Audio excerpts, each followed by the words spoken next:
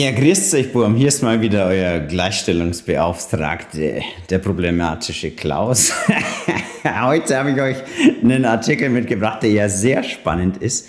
Geld oder Liebe? Warum die Heiratschancen von Männern zunehmend von ihrem Gehalt abhängen. Und das ist ja genau der Witz dabei, warum ich hier die Hypergamie noch weiter steil gezeichnet habe. Gerade hier in der Moderne mit unseren ach so progressiven Frauen. Progressiv natürlich nur beim Einkommen. Ne? Der Mann muss noch mehr scharfen, scharfen Häusle bauen. Und das ist eben so krass, wie hier der Autor schreibt. Der Traummann der Gegenwart entspricht dem Prinzen der Vergangenheit. Ja, das ist ja auch immer wieder, was ich so gern zeige.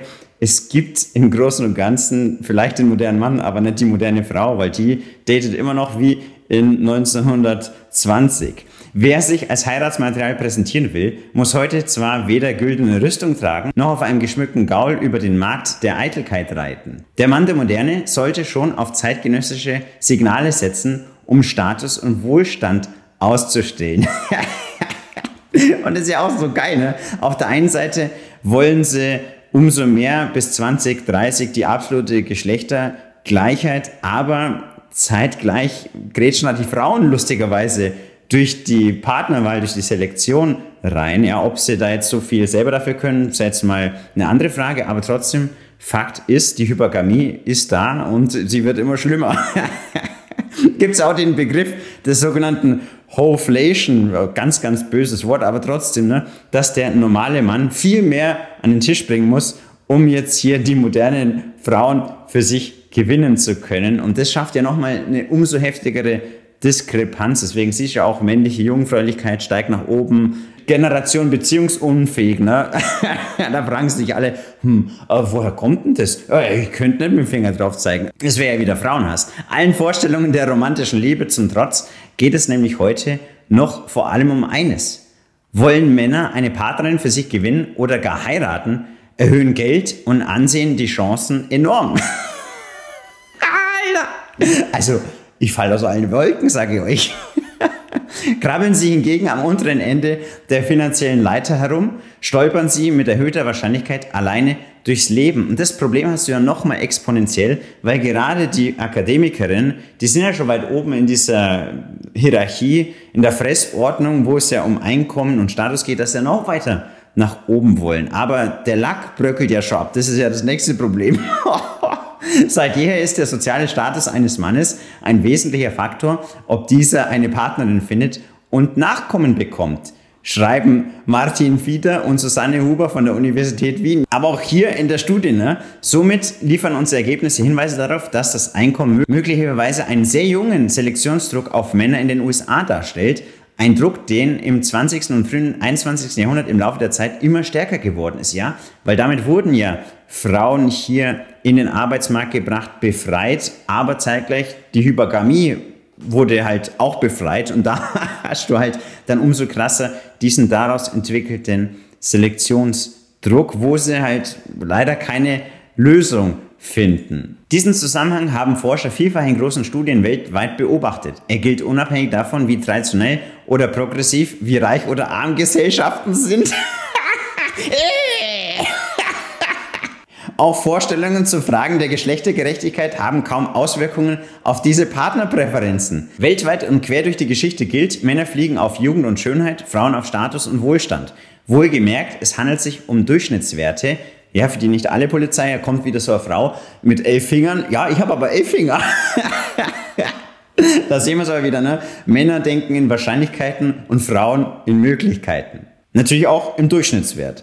Einzelne Gegenbeispiele lassen sich gewiss finden, ja, wie gerade gesagt, doch es handelt sich um Ausnahmen. Die Präferenzen verschärfen sich womöglich sogar, wie Fieder und Huber in ihrer aktuellen Studie zeigen. Die Forscher werten dafür Daten von 3,5 Millionen Männern und 3,6 Millionen Frauen aus den USA aus, die zwischen 1890 und 1973 geboren wurden. Der Analyse zufolge hingen die Heiratschancen der Männer im Laufe der Zeit immer stärker von ihrem Gehalt ab.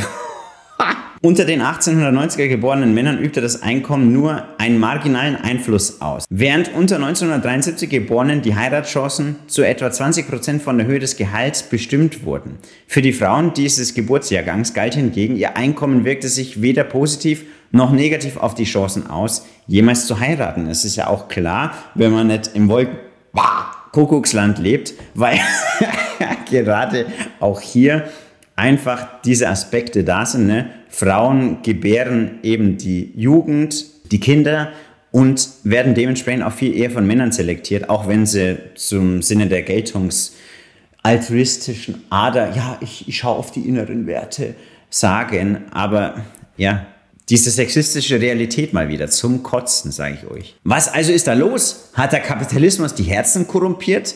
Quatsch. Was sich aber verändert hat, einst bemaß sich sozialer Status anhand vieler Faktoren. Heute ist es das Einkommen die mit Abstand wichtigste Kenngröße. Und das ist ja auch gerade hier, damals konntest du als Mann noch viel mehr bringen, aber heute kann die Frau ja das alles auch selber erwirtschaften dass dann im Großen und Ganzen auch hier diese Freiheiten da sind, was ja hier schön für diese Frauen ist, aber halt auch sehr, sehr schlecht, wie sich dann hier herausstellt. Vor langer, langer Zeit mag zum Beispiel der Jagderfolg eines Mannes seine Stellung in der Gemeinschaft aufgewertet haben. Heute ist es eben der Kontostand. Die Forscher der Universität Wien argumentieren zudem für einen weiteren Grund, warum die männliche Attraktivität heute stärker vom Einkommen abhängt. Frauen heiraten sozial tendenziell nach oben, nicht nach unten. Das ist eben hier das Problem, ne? dass sie halt nicht in der Masse hier den Bauarbeiter selektieren. Auch das haben Studien gezeigt. Hochgebildete, beruflich erfolgreiche Frauen suchen sehr oft nach Partnern, die noch höher hinaufgeklettert sind als sie. Und da Frauen heute in Sachen Bildung und Berufserfolg teils auf der Überholspur unterwegs seien, so argumentiert Fiedler und Huber, sei der finanzielle Erfolgsdruck auf Männer enorm gestiegen. Die Liebe hat eben schon immer ihren Preis gehabt. Und das ist ja gerade das, ne? Wahre Anziehung ist halt auch hier nicht verhandelbar. Klar, entwickelt sich der Kontext, die Gesellschaft, aber leider Gottes halt diese evolutionspsychologischen Aspekte nicht. Und das macht natürlich gar kein gutes Gefühl im Bauch der Gender-Propheten äh, und dieser ganzen Gender Studies Leute, aber die Tsunami-Welle der Realität kommt richtig reingeballert und wir dürfen gespannt sein, was die Alpha-Witwen hier in 20 bis 30 Jahren noch äh, vom Stapel lassen werden. Das ist auch so lustig, ne? nochmal kurz hier zum Einwurf, was ich gesehen habe, dass sie in der Zeit kürzlich erst einen Artikel losgelassen haben äh, von der Hanna. Gerade besser Verdienende üben finanzielle Gewalt aus. Frauen sind finanziell oft von ihrem Partner abhängig. Ja, weil sie den anderweitig sonst nicht scharf finden, wie wir gerade gesehen haben. Viele leiden, können sich aber nicht wehren. Oh, Hypergamie. Rutsch äh. Ist so geil. Da regen sie sich auf. Oh, äh, die verdienen ja besser.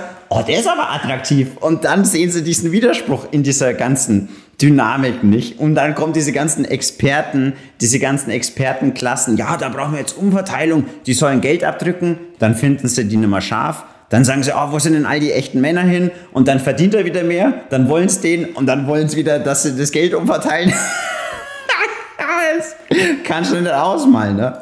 Aber ich würde sagen, damit kommen wir doch mal zum Ende. Und ich hoffe natürlich wie immer, dass ich euch diesen vorzüglichsten Hass näher bringen konnte. Und wenn es euch gefallen hat, wie immer, liken, kommentieren und abonnieren. Wir sehen uns. Vierzeig.